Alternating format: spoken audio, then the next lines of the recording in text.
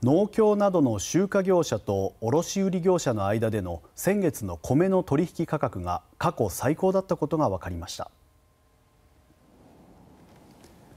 農林水産省が発表した8月の米の相対取引価格は前の月より507円高い60キロあたり1万6133円でした。農水省によりますと8月の取引価格としては比較可能な2007年以降過去最高だということです。新米との入れ替わりで最も在庫が少なくなる時期に南海トラフ臨時情報が発表されたことなどを受け